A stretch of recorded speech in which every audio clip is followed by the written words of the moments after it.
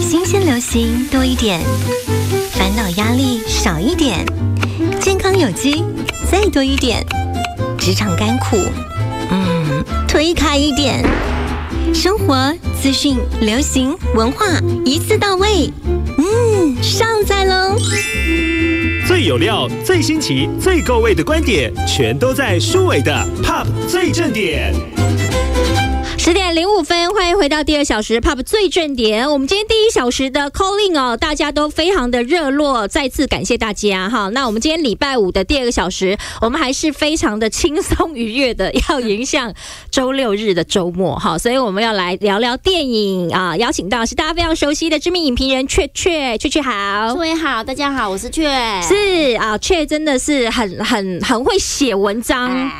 然后现在的那个 对现在的你在 p a c k e t 上面、上岸上面的那个节目也是很夯哎，就是努力的跟很多的影人，因为刚好啊，疫情的关系也有助攻啦。因为就是台湾的戏剧呢，相对台湾观众接受度又高，哎，因为没有好莱坞片可以看，对，完全没有好莱坞片可以看，所以就哎，台湾观众就把目光转移到台湾的戏剧。那刚好其实很多的影人呐、演员呐，他们都有机会，其实把新作好不容易推出来了，就有一些对谈的空间，然后在里面互相的聊一些比较。正经的演戏的话题呀，是是，就是呃，是一个好好对话的一个空间啦，嗯，对不对？让他们就是各抒其志，因为其实很多艺人他们会觉得说啊，其实观众可能会觉得说啊，我是明星，然后你就想听我的八卦娱乐的东西呀，嗯，对啊，其实他们也很想聊聊他们的专业跟他们的努力，对他们很想要让他们的努力给大家看到。嗯，好，那现在电影院似乎有慢慢回温的状态，是啊，其实真的要看我们这前面的这几出，就是要聊了这。几部电影又不是这几部哦，其实今年上半年整个电影的票房市场，戏院的票房市场在台湾哦，是去年的其实就三分之一而已，所以其实算是非常伤，而且还要不是有我们现在要介绍的《时速列车二》《感染半岛》，跟还有一部很奇妙妙的哦，听说它票房打破了二分之一的魔法，迪士尼的动画哦，就是《角落小伙伴》电影版。啊，真的是的。因为角落，因为角落小伙伴、角落生物是很多小朋友很喜欢的，对，就是算他们疗愈系的小朋友的伙伴，就是他们心灵的心灵伴侣啦。那我们家也有也有几只角落生物啊，真的有，对不对？对呀，我女儿到国中也还买，但是它的电影版是是票房不错的，哎，是非常非常好的，而且真的是，其实老实说，一方面就是虽然说我们知道。迪士尼动画这个东西大品牌，还有皮克斯动画那种东西，在全世界非常知名，但其实在台湾的市场一直都没有特别的好。因为喜欢看动画的就是那一些人，那所以相对就是它就有一个比较就是限制的票房空间。那假如假如小伙伴，我觉得也是一个歪打正着的概念，因为假如小伙伴他选择在暑假档期上映，然后今年全台湾的父母呢，他们都不能出国啊，他们就只能一放暑假觉得很慌的时候啊。就是好带小孩子去看电影，然后假如小伙伴就趁势而起呀，哦，而且真的很可怕。我觉得那个现在想想，小孩子的同才压力应该真的也挺大的啦。很多的小朋友其实他们并不一定对角落小生物、角落小伙伴有感觉，但是呢，就碍于同学大家都去看了哦，所以你也应该要去看一下，了解一下他在演什么。而且你了解了一下这过程里面呢，爸妈有时候还得带你了解一下，所以那个。那个票房是 double triple 那样子接上去。那像雀雀你去看的时候，大人是支撑得住的吗？老实说啊，老实说啊，我看到后面是有就是掉下我第一滴感动的眼泪，但是不可讳言，我中间觉得挺无聊的，因为我看到我一个好朋友，他说他小孩子吵着他要要叫他带他去看那个角落小伙伴，所以他也就去看。他说第一次。怎么有点睡着的感觉？对，就吹冷气睡免费觉，幸好他只有一个小时，对大人来说还挺。他的注解就是这样子，只有一个小时。对，就是你不会。可是小朋友看得很开心，小朋友真的莫名其妙开心啊。例如说，我那个四岁的二儿子，我就不懂啊，就是怎么会就是只是一个小小生物从墙角上掉下来，哦，我小孩子超捧场，这样哈哈哈大笑，我吓傻了。我想说，你这样是可以的吗？我还叫你小声点，你小声点。那想想大家每个小朋友都在笑都这么哦都很捧场。我想说，这到底怎么一回事？那个宇宙是你无法，就是你身为大人无法所以。所以角落小伙伴的电影版在暑假期间呃这个上映，其实也是有一点点这个天时地利人和的感觉了。我觉得真的是各方加成，但是其实我在里面还是有看到一些亮点的嗯。啦，就是因为它整个故事呢讲的是说，哎、一群小妖小或生物呢打开了一本童话故事书，全部掉进去，所以他们从一千零一夜卖火柴的小女孩，还有什么东西就是淘太阳，全部的童话故事给你 run 一一回，哦。所以它有一种就是小朋友他其实小二小生物真的不用讲话。因为里面真的小二小生物是都没讲话的，讲话的是一个叫做贾静雯的 旁白，是然后你第一第一次我就是发现说，哇哦，贾静雯的旁白很疗愈呢。哦她的声音是可以有一种很妈妈的磁性跟了魔性的温，柔。对那种温柔感是真的会让你听了觉得好舒服。然后也可以第一次 review 一下这些童话故事，真的，所以其实所有的角落小生物，他们虽然没讲话，但是很神奇的是，你的小孩子都 catch 得到那个语言。他是可以理解小小生物在想什么的，他们只是滚动一下，然后做一些很白痴的动作。例如里面我有一个印象很深刻，也是我儿子笑疯。我想说这有这么好笑吗？就是里面有一个角色叫做炸猪排跟炸虾尾，哎，炸虾尾很很有名哎，对，然后他们两个的主打诉求就是他们是被吃剩的。就是人类不吃的，所以他们人生最大的梦想就是被吃掉。然后当他们到了那个什么那个红那个小红帽跟大野狼的故事圈里面的时候啊，他们遇到大野狼的时候就用。发光的眼睛看着大野狼，然后就追着大野狼跑，说吃我吃我吃我，然后全部的小孩子都笑疯。我想，哎，对，这是这个是我逆转我们的思考，对但是对小孩子来说非常的买单。哦，就是那种哎被你讲的，我也蛮想去看的。哎，这样被你讲的，我也蛮想去看的，真的。就是他们的那种童趣啊，还有就是他小孩子我们要全部都找回我们的看。童真啊，爸爸妈妈，你怎么可以睡着呢？这么可爱的电影，，对，所以我也蛮汗颜的，想说，哎，怎么一度昏昏欲睡？他现在还在上映，对不对他现？在很还在靠、电影公司，还靠他们呢。真的，小朋友就是靠这个，就是因为其实这也算是一种以前呢、就是其实老实说，我觉得二零二零真的是一个非常巨大的变革。因为在这今年以前，我老实说，我真的有觉得说，我每年要追快五百部、一千部的电影，我追得非常累，因为全世界一直在盛产电影，它不论是品质好的、品质不好的，然后全世界世界各地的全部都来，然后你就会一直看不完。可是突然今年全部都停止了，然后连好莱坞的档期全部都延到明年，就是一些好的大片啊。然后你突然觉得说，对我们其享受电影的节奏不就应该是这样吗？嗯，这个节奏感觉是对的，是对是舒服的。而且有一些电影，其实你还会觉得很焦虑。是以前你如果想要看那部电影，如果它不是叫做《复仇者联盟》，可以连续放映一个月的话，你下最好这个月赶快或这个礼拜赶快去看。第一个礼拜要先去看。你那种焦虑是会被逼着打的，哇就是真的然后今年就突然你觉得说，哎、而且有很多的经典数位的。那个修复版重新上来了，所以就是膝关节大哥他就是有笑笑称说，今年的电影院就很像是那个线上平台，就是在做那个传统的影展这样子。啊，有一点点这种感觉。对，可是其实也。其实也是让大家放慢角度，可以好好欣赏电影。真的，我觉得大家，如果你喜是喜欢电影的人，然后你觉得好像这个世界的东西是不是追不完？有时候好书也是看不完那种感觉，你会觉得很慌。那刚好今年让你好想定下心来想想，说你喜欢电影的原因是什么，从中找到你喜欢的。嗯因，为我觉得像我们的工作才需要全部都看，对。但是照理来说，就是你喜欢什么电影，你去找你的类型，你喜欢的，例如说文学改编电影或者是动画电影，你才可以从中去欣赏出你的乐趣，然后建立说你认识自己。我觉得电影是一个很重要的嗯认识自己的东西。没错，没错，我觉得雀雀讲的非常好哎、我觉得从电影当中可以看到自己为什么呢？因为你在电影当中某几个桥段你会特别有感，那就是为什么你会特别有感？你可能有感。的地方，另外一个人可能对这个桥段没有感，那为什么会这样？我觉得这也是蛮好认识自己的一个方法。那《失速列车感染半岛》已经卖破三亿了，真的破三亿，它其实七二七就已经破两亿了，所以那时候大家说，哎、也太快了吧？对啊，好快哦，每十天破一亿的概念嗯，那现在三亿多，啊，就蜀中无大将。那你喜欢第一集还是第二集？老实说，在议题方面，我喜欢的是第二集，但是呢，在呃电影的类型跟技巧的发挥上，第一集是经典。我觉得第一集是经典的，因为我跟蔡大哥两个人到电影院去看了嘛，哈，然后看，其实这中间就是第二集，因为它场面更大，花的钱更多，是好，然后那个赛车的部分也是很精彩，但第二集看完没那么的内心没那么丰厚啦。我觉得他第一集是非常的棒，我觉得他们现在很，我觉得韩国电影真的是有点机车，因为他们会知道要掐着你会感动的泪点，所以只要观众，我会我自己很敏感，我会觉得说，如果你这部韩国电影是故意要让我哭的，我自己会心里会产生一个距离，我会退一步想说，为什么你要故意这样，就过度煽情。哦，你会觉得他第二集还是有点过度煽情。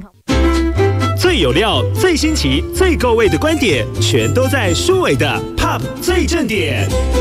好，十点十八分，每次聊到电影都觉得聊不完的感觉。今天现场是大家非常熟悉的知名影评人雀雀，哎刚刚讲到《失速列车感染半岛二》哈，那他呃当然场面更大啊、花费的这个成本更大啊。嗯，那如果不是现在遇到疫情期间，他他的票房嗯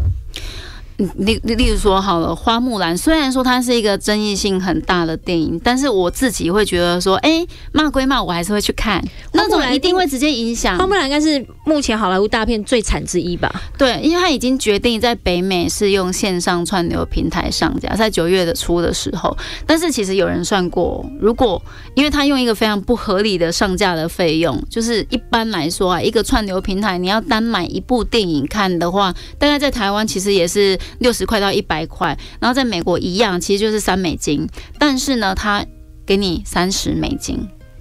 然后他其实直接想的就是说，哎，那反正我打定就是全美美国的戏院就不开，那电影院又不上，那我就直接在让你在家里合家观赏一部《花木兰》。然后他们就想说，那但是十个人为什么？他想想还是很划。例如说，你们家成员只要有三个人，然后看两次就划了。哦他们想的是，而且真的有人算过说，如果全世界有五趴的人看，基本上他就回本了。然后如果不小心有五十趴的人，因为这种脍炙人口的题材，就是迪士尼公主系列，大家都是全世界的小女孩都会看的，他就抓紧你这一点，那它的票房可能可能会创下世界的纪录哦，就是。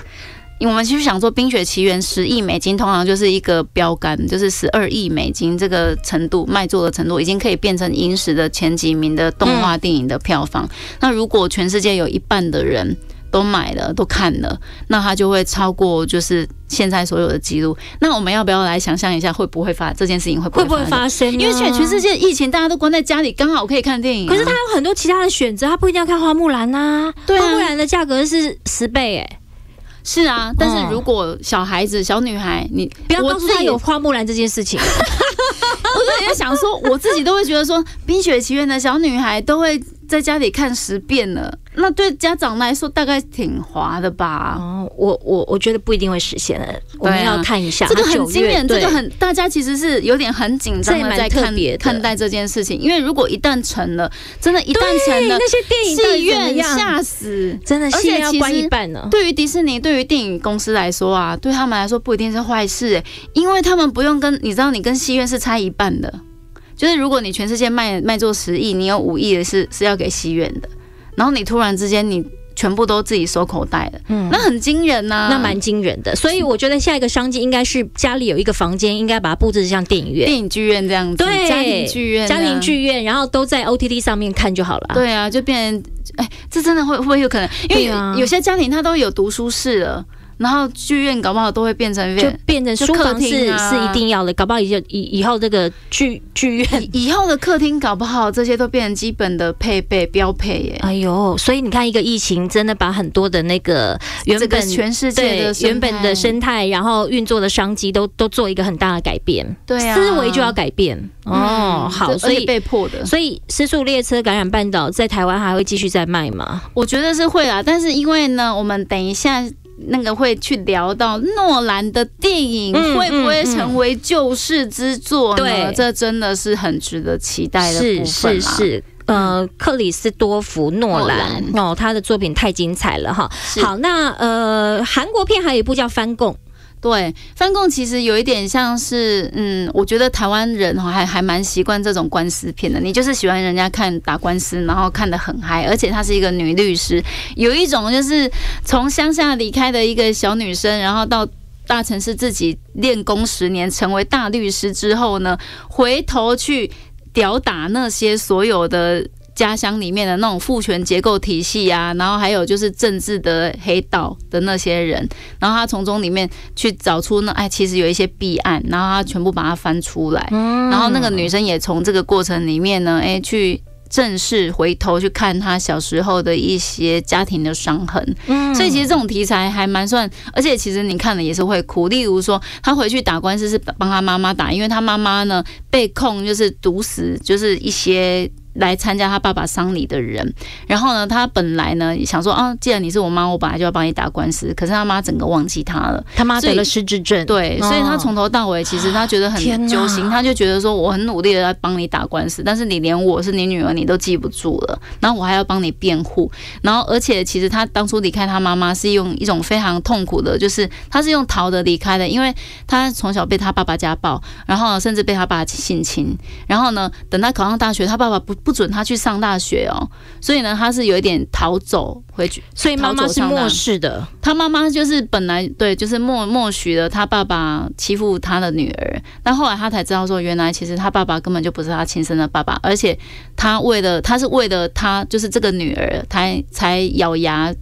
附属在他爸爸身边过生活的，就是一个你就是他去探讨，其实就回头去探讨整个韩国社会文化，就是女性的失语，还有就是她的经济弱势、性别弱势，然后社会阶级的弱势，逼不得已得很 很惨的留在一个男人身边，只是为了要养大他的小孩。然后当一个女生如果她在韩国，然后她终于有自己的能力的话，她是不是可以透过逃离家庭这件事情来建立她属于她自己的人生？他就是其实有一点在，我觉得现在韩国的所有的戏剧都在做这件事情。对啊，为什么他们最近好像一窝蜂这种题材很多？对，就是你会看到所有的女主角就是整个戏里面最厉害的那个人，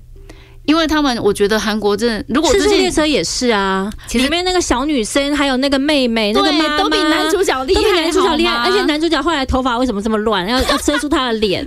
就是表示他的落魄啊，跟他的。愧疚。其实最近有一部《钢铁与》郑宇盛的，其实也讲一样的意思。对，他就讲南韩的总统啊，就是拿起他的肩膀，然后为全南韩的那人民。找到就是不要打仗，然后发挥他最就是连自己都要牺牲。这个东西其实也是反映了韩国的总统每个人呐，基本上呢都是第一个出卖韩国人民的这件事。他们就是要反转这件事，他们要让你觉得说，没有我们在韩国戏剧里面拍的所有东西，全部都是我们韩国人民真正想要发生，但是在社现实社会上没办法发生的事情。比如说，我们只是有一个很清廉，他就算有点无能也没关系的总统，但是他们要懂得保。保护韩国人，那连这件事情都做不到吗？或者是我们女性就只是想要好好的努力的活着？不要再被父权给一些无止境的剥削，这样难道不行吗？他们努力的在戏剧里面找到这种空间去做发挥，是了解哈。所以呃，韩国电影的类型啊，或者是他在这个制作的这个场面上面啦，的确是这几年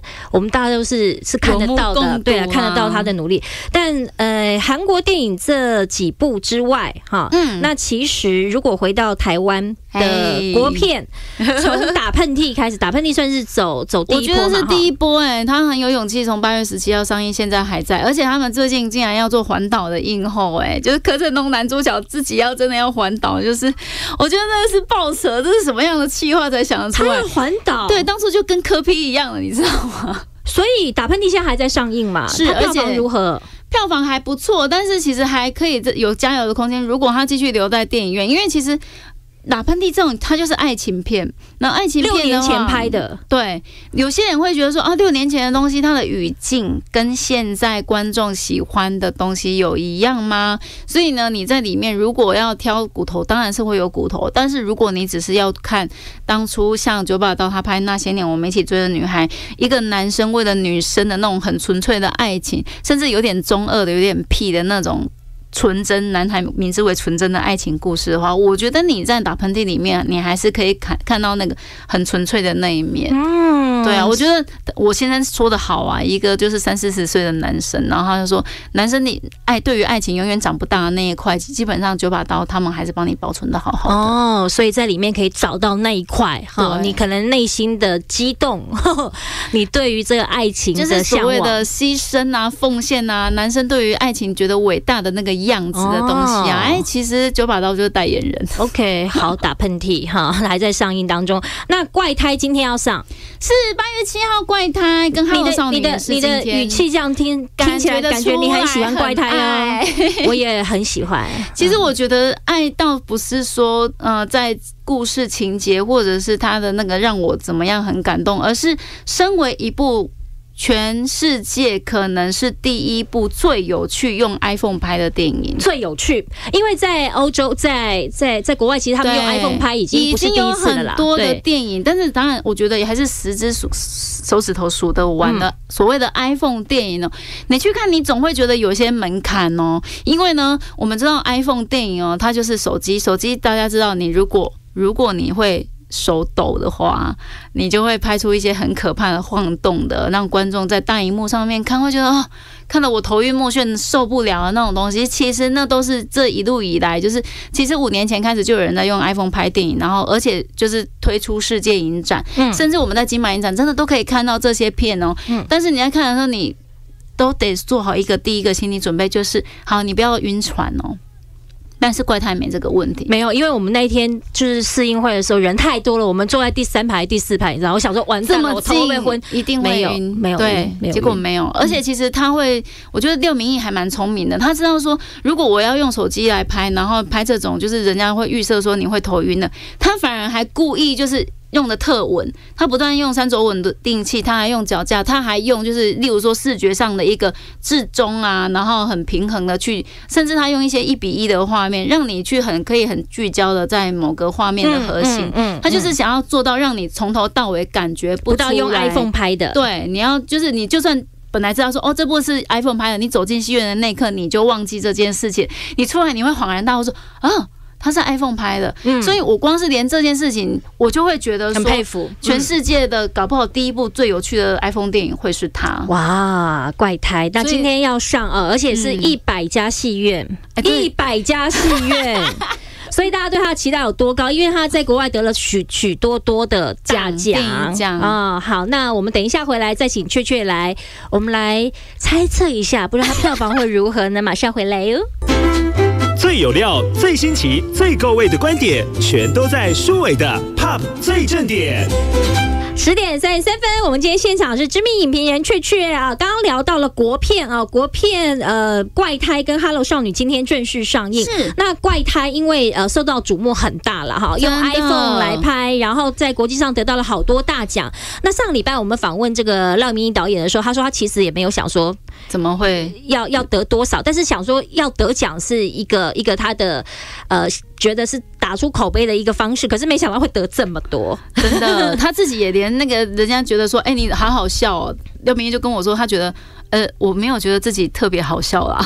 但是就大家都很捧场的笑。我觉得那就是他抓到了某个程度上，现在很多的，例如说网络啊、影片啊什么的，年轻人呢、其实喜欢看什么娱乐的东西，我觉得他是有那个敏感度的，就是他很严肃的、认真的，只是想要做一件让你觉得会心一笑的事情，但是观众很聪明，都看得懂，所以就不吝给他哈哈大笑。对对，那呃，今天就正式上映，因为之前呃台北电影节有首映啊，然后也有一些试片等等，呃，反应都非常的好。哦对那我去相信它应该票房会不错。我觉得如果全台都铺到一百家了，然后呢，它的前面真的就是一个非常可爱的喜剧。你真的没有看过这种台湾电影？我老实说，就是台湾的爱情电影哦，我一直都觉得很尴尬。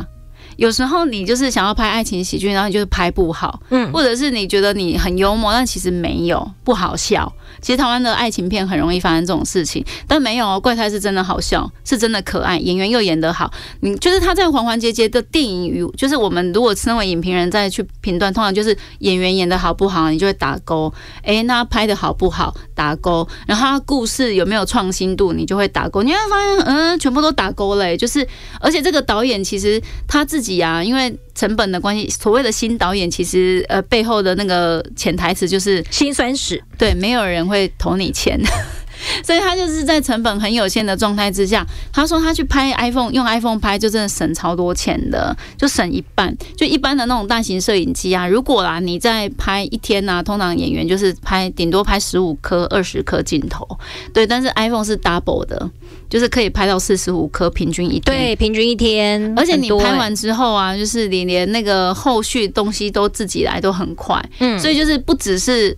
时间省一半，你连你的所有的操作都省一半，而且其实我们都会说，哎，好像你是不是在搞噱头啊？哎，第一部 iPhone 电影听听，第一部 iPhone 电影听起来很球，但是没有啊。其实这个导演已经，他从 iPhone 四 S 开始，二零一一年、二零零一零年、一一年开始，他就开始研究 iPhone，嗯嗯，所以也是十年练一剑，是是是。所以其实我们常常会看到有一些东西，就是好像他是不是要抢一个滩头堡，要抢他的历史定位？我觉得有时候，我觉得导演他自己讲的很好，就是。一个导演哦，其实他光是要把电影拍好就很难，他没办法经过那么多的设计。对，没错，没没办法什么呃要要去抢滩头堡啦，或是要去去呃拿一个什么呃历史的一个位置，什么 iPhone 首位，而且还片，而且还首首部对首部台湾 i 那个防疫电影。哎呦，哎，真的耶！他我所以，我上礼拜就跟那个廖明导演说，哇，你们这个上映的时间也是。也是天时地利。对啊，你你要怎么看男女主角就是很努努力的洗手、戴口罩，然后清洁打扫这种东西，就是我们现在防疫期间要做的 基本功，只是不用穿成这样出出门而已。不过这个怪胎这部片子，因为廖明义导演是自己也也也写剧本。也剪接，对，然后也当摄影，他是自自编自导自拍自剪，差点要自演的。其实听说啦，就是如果你去看的那个电影，你就会发现林柏宏有一个笑点，就是大家就是林柏宏其实一开始看到剧本，他不想演，就有两个字叫做“科科 ”，就是他那时候他就直接很严肃问导演说。我真的要讲这个吗？可可怎么演啊？我不会。然后导演就说：“我演给你看。”然后他就只好招着导演导演演了。然后当他磕出来之后，很可爱啊。对啊，然后就观众就真的笑出来了，就爱他哎。然后那个林柏宏就只好看着导演说：“哦，真的哎。” 就是这种东西，其实就超前部署。其实连这部电影的主题曲《先知》Hebe 的歌也都是超前部署，因为其实。嗯，照理来说他们是请不起田馥甄的，但是他们就只是问一下说，哎，我们这个电影有可能吗？你们有没有适合的歌？刚好想不到，Hebe 有一首新歌正要出，哦，就这样子变成就是免费变成电影主题曲，很棒就是一切的超前部署，一切的未卜先知，全部我觉得只要一个导演是真心爱电影，想要把电影拍好，全世界都会来帮你。嗯，所以呃，在今天正式上映的《怪胎》，嗯，我期待它的票。房可以很好，我觉得给导演这个一一个很大的。回馈了，应该是说，如果连这样的台湾电影，就是有创新程度的台湾电影都不卖的话，那我们才要担心吧？真的，我们自己要去支持一下自己的国片啦，哈。嗯好，那《Hello 少女》演的是什么？《Hello 少女》其实，哎，某个程度上也是很符合当代的观众的一些需求。它其实故事是讲说，高中女生，高中女生，然后她们是一个小团体，然后怎么样跟其他的女生勾心斗角之后呢，在一个 party 里面产生了一件丑。闻，然后那个丑闻被手机跟网络散播开来之后，害得一个女学生她从此就休学了。然后那个丑闻就是啊，我们知道就是在 party 里面啊，女生都会玩一些游戏，例如说亲亲啊，或者是脱胸罩啊、脱衣服啊，或者是甚至他们就是真的要玩黑咻。哎呦！然后输的人竟然就黑球了，然后黑球其实没关系，你关起门来是在 Hello 吗？对，真的是还这个剧情就是非常的超展开，然后竟然那个黑球就被拍出来，然后拍出来这样被网络散播，你叫那个女生情何以堪呐？她当然就只能休学。然后那过程有点像是办案，就是所以去找说到底是谁把那个影片泄露出去了，然后到底那个。就是传闻中女公主跟婊子之间的距离有多远？其实他探讨的就是高中女生之间可以那个玩弄心机到最夸张怎样的程度。然后他用一个很戏剧形式的表现，让你看到，其实会不会其实现在的年轻人呐，我们身为妈妈，啊是不是都要好好的去想一下，是不是真的有那么夸张啊？好，那他适合给年轻人看吗？还是？长我那个像我们这种当妈妈的也适合看。我我觉得啦，对年轻人来说一定会有感，所以哦就是你要去了解说他们为什么现在。其实你从 Netflix 就是点阅的那些排名，你就可以知道那些新三色的为什么一直都排在前几名，嗯，表示现在的呃高中男女生他们在意的就是这些题材。然后他们可以玩到怎么疯？我觉得就是我们不要预设自己的小孩或者是现在的小孩都是这样，但是你必须得知道说他们最疯狂是可以到怎样的程度。嗯那个东西就会变年轻人之间的话题。然后，如果你会，你先去跟道貌岸然的跟大家说，哎，这不行不行不行啊！其实人家不会跟你聊的啦，就是你就是，我们就默默的去看了这部电影，你就会知道现在年轻人其实他们在想什么。我觉得这很重要、哎、哦，好，所以这是《Hello 少女》也是今天正式上映，然后是呃，逃出立法院本来三四月要上的嘛，现在才上，嗯，逃出立法院我超爱，喜欢是不是？我超级爱。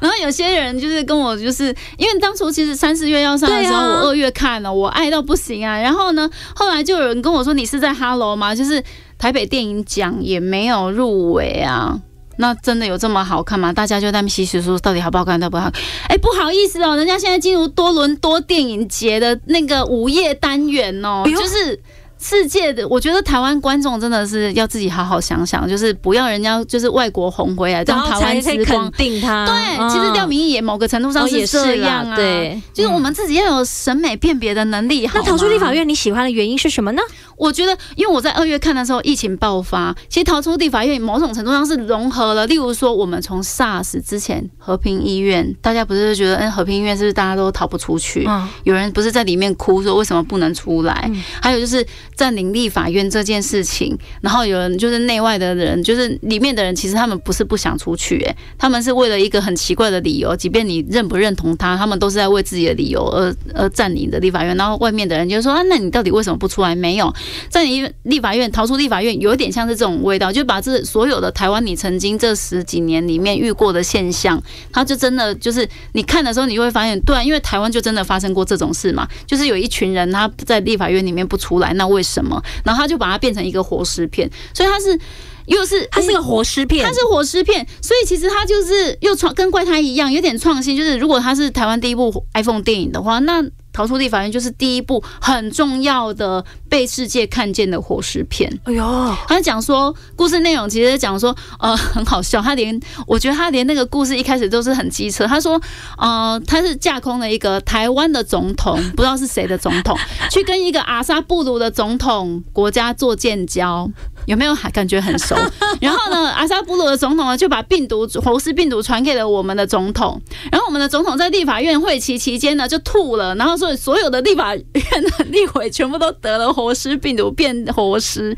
所以其实台湾第一个活尸是总统，然后呢变成其他的全部的立委全部都是总那个活尸，然后那些活尸他就会去感染其他的人，然后就剩下少少的很少的几个人没有得到活尸病毒，但是他们被关起来了，因为他们就觉得说活尸病毒就是直接把你隔离嘛，就是你要去想象和平医院里面其实有几个真的是没有得到 SARS 的人，然后被关在里面，可能是医护人员，可能是其他人。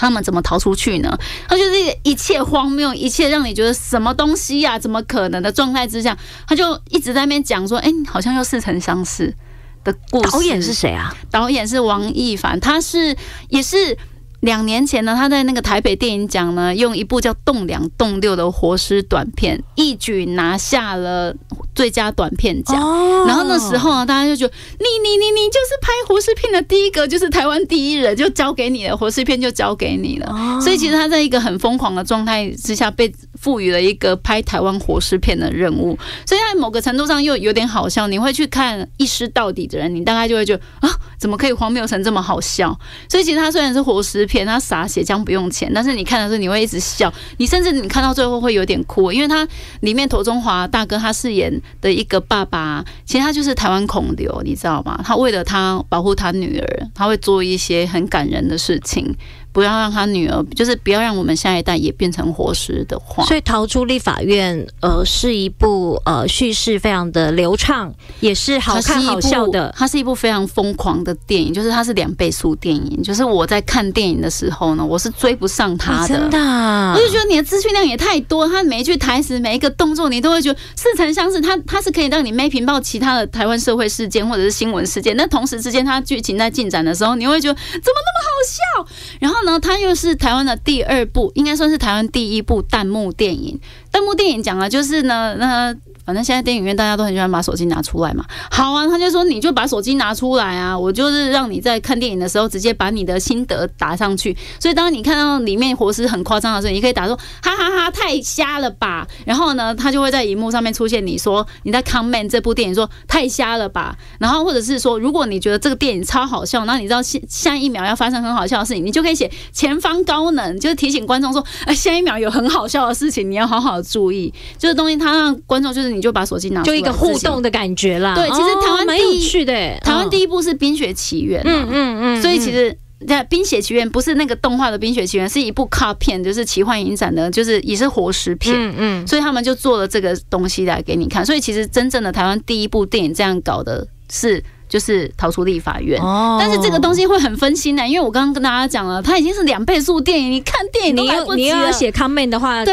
好几秒钟你就看不到了。哦，所以逃出立法院也是可以期待的片呢。因为我三四月看到他的那个简介的时候，我想说，哇，这应该是一个搞笑荒谬片，就很荒谬，而且很搞笑，很粗糙。但是其实呢，没有正片，没有这样。就是我觉得这就是大家真的很，我自己二月看的时候，我是都看到快哭了。我觉得这反映的就是台湾，因为那个时候台湾刚好开始。锁国哦，了解，你就觉得对对对对对，现在疫情没错，全世界都被关起来了哈。好，这个哎，国片也好精彩，我们稍微休息一下，再来看看还有什么其他的片呢？最有料、最新奇、最够味的观点，全都在舒伟的 Pop 最正点。好，十点五十一分，居然来到了最后一段了啊！都好多没有讲完，那可不可以？你也刚好喜欢我是八月底要上的，是我以为你在跟我告白。对呀，这这部片应该就是一个告白片，就是四一的作品，然后呃改编是。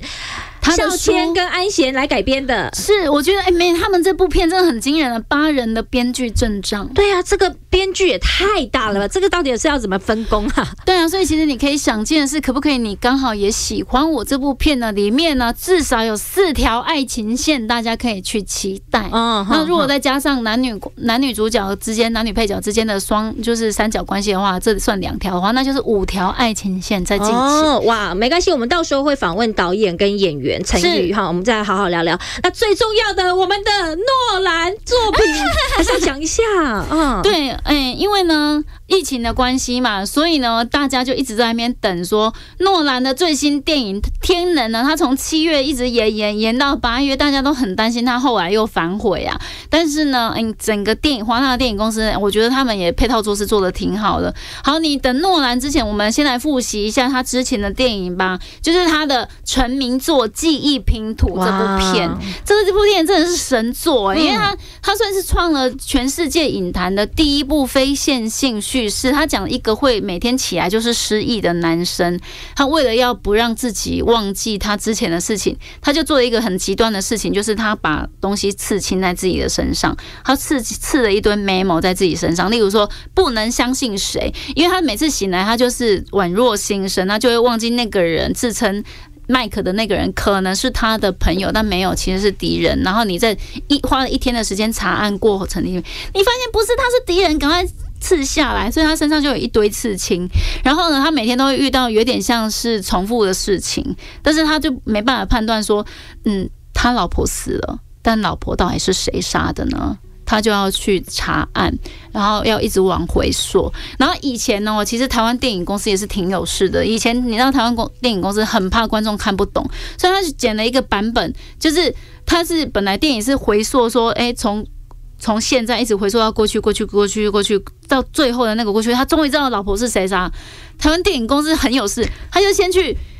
重新剪，就是倒着剪，剪说他自己就是知道是谁杀了，然后再嗯、回来推推推推推到说，哎、怎么他会变成一个失忆男这样？哦，怕我们看不懂啦，真的哦就把观众搞得更复杂，然后观众就会很好奇说，哎、所以他之前发生了什么事情？哎、现在二十周年的数位修复完整版要出出。出来了，你就观众可以看到说，太二十年前你看到那个版本其实是错的，你现在来看新的版本。哦，好，所以这个是八月也要上的，是，而且呢，它真的很贴心的，在《天能》全新的电影上映之前的一个礼拜呢，它全面启动十周年纪念版，也让你看到那个不会倒下来的陀螺啊！全面启动，这也是神片呢，它这个真的还蛮烧脑的哎，而且它其实里面有一些很创新的东西，后来全世界的。呃，电影创作者都在学它，就是全面启动有一个很酷的，就是你在梦境里面去做地图，你去造梦，然后你造梦的那过程里面呢，因为梦境里面是一个超越空间维度的东西，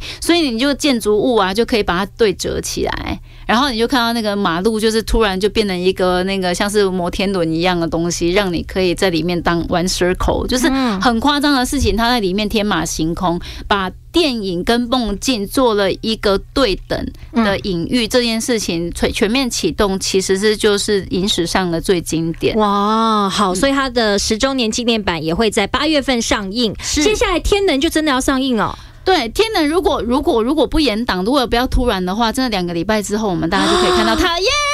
八月二十几号的时候，，对，因为他要等，就是其实我觉得诺兰哦，他自己也嗯，很想要在暑假可以让他的电影上观众见面，而且他可是他在美国都没办法上啊。所以他自己有改变策略啊，就是如果今天呢、嗯。天能呢、他可以在、他本来是想说，我就是顾好我北美的市场，因为对，诺兰也是一个有对于电影院这件事情有使命的人。嗯，就是呃，很多的全世界的导演都已经用数位拍摄的时候，他是一个很坚持用胶卷拍摄的人，嗯而且他不但要用胶胶卷拍摄，他还用 IMAX，嗯就是那种 IMAX 的那种所谓的画面的比例啊，嗯。那种东西啊，他要真的很到现在还是具体落实在，就是他要跟你讲说，我觉得这些人都很值得被肯定，不论是像是李安这种觉得说我要三 D 四 K 一百二十格，让电影院的存在价值永远是家庭剧院无法取代的，或者是像是诺兰导演这样，就是说我要让你知道说胶卷拍片这件事情在电影院里面看还是会感动，嗯。甚至我觉得廖明义也要被提出来的原因，是没就是错，他让你知道他，他有一句名言，就是说，我觉得说的很好哎、如果有一堆烂片在电影院看，你看的会很生气；但是有些电影明明是用 iPhone 拍的，但是你在电影院里面拍看，你还是会觉得很感动的话，